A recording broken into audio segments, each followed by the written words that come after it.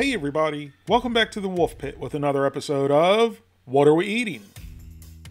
Today, we're trying Helper Mac and Cheese. That's right, Hamburger Helper ditched the hamburger to make these mac and cheese cups. Isn't this basically what they were making the whole time? Some sort of pasta in a sauce that you add hamburger to. So I guess we've really tried some of these already, just mixed with hamburger. We tried the bold three cheese, the bold cheesy pizza, the bold pepper jack queso, and the bold spicy nacho flavored Helper mac and cheese cups, which weigh 2.6 ounces and cost $1.46 each. So let's go over the bold three cheese flavor first. Here's the ingredient list, and for those of you who have adverse reactions to MSG, there's MSG in these, so I'll eat them for you. The serving size is the whole cup, which has 280 calories, 5 grams of total fat, 2.5 grams of saturated fat, no trans fat, 5 milligrams of cholesterol, 490 milligrams of sodium, 50 grams of carbohydrates, 2 grams of fiber, 6 grams of sugars, and 8 grams of protein. The directions for all four cups we're trying today is to open, remove seasoning packet, fill to the line with warm water, and microwave for 3.5 minutes. Then mix in the seasoning packet and let stand 1 minute.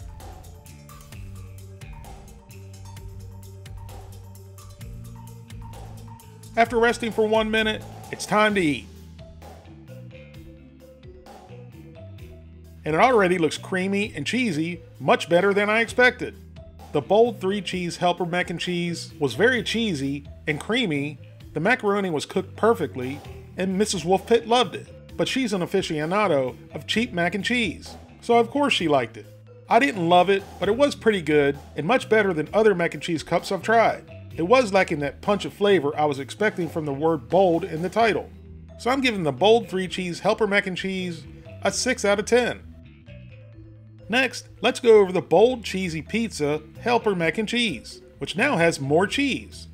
And here's the ingredient list, and I think all four will be pretty much the same.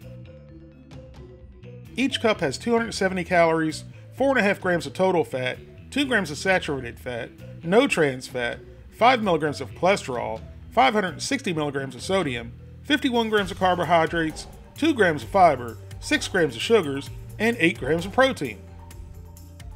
After cooking and resting per the instructions, our cheesy pizza mac and cheese cup is ready. It looked, and it was indeed, creamy and cheesy, but no more than the bold three cheese. So I'm not sure where the extra cheese is coming from they mentioned. But I did find out where the world supply of Italian seasonings are. They're in this cup. The seasonings were overpowering the mac and cheese, and they were hard like they still had stems. Mrs. Wolfe WolfePit said it's not really that bad. It reminded her of Chef Boyardee's pizza kit you could buy in a box which in my opinion isn't really a compliment. So I'm giving the bold cheesy pizza flavor a 4 out of 10. Next, we tried the bold pepper jack queso helper mac and cheese, which to me sounded like the best, and it actually looked pretty good on the picture. Here's the list of ingredients. Each cup has 270 calories, 4 grams of total fat, 1.5 grams of saturated fat, no trans fat, 25 milligrams of cholesterol, 510 milligrams of sodium, 51 grams of carbohydrates, 2 grams of fiber, 7 grams of sugars, and 8 grams of protein. After cooking and resting per the instructions, our bold pepper jack queso mac and cheese cup is ready. And it sure looked much different than the previous two cups, which all three cups were cooked exactly the same. But this batch turned out very mushy, like it was well overcooked. But the mushy pasta aside, I'm still trying this, for you, the people, so you don't have to you immediately get a great fresh jalapeno flavor. Not spicy, but the flavor of the pepper itself, which was good to have, but it was pretty much the only flavor in the cup.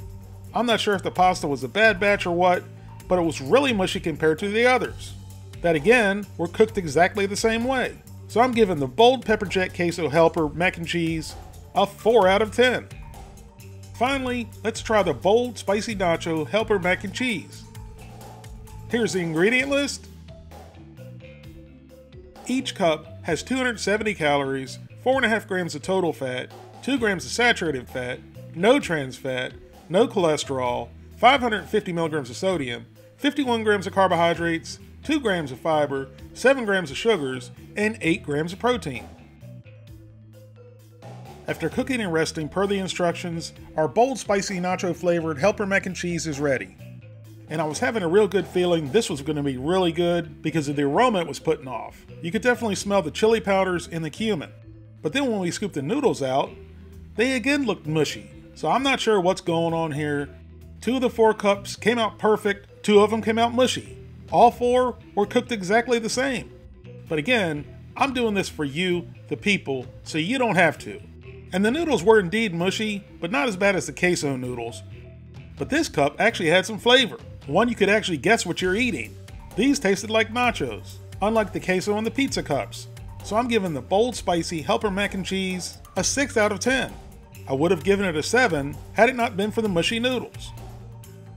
So now let's do like we do for the final bite and add all four cups to the same bowl. Give them a good mix and see what they taste like combined. We usually have good results with this. So once we had everything all mixed together, we went in for a try. And it doesn't look that bad except for the mushy noodles, so into the old pie hole and down it went. And even with them all being mixed together, you still got the overpowering hard bits of Italian seasoning, which would honestly ruin a turd. Personally, I won't be buying these again, and I wouldn't recommend you waste your money either, but if you want to give them a try, give them a try and let me know what you thought of them. Thank you all very much for watching, and I'll see you soon.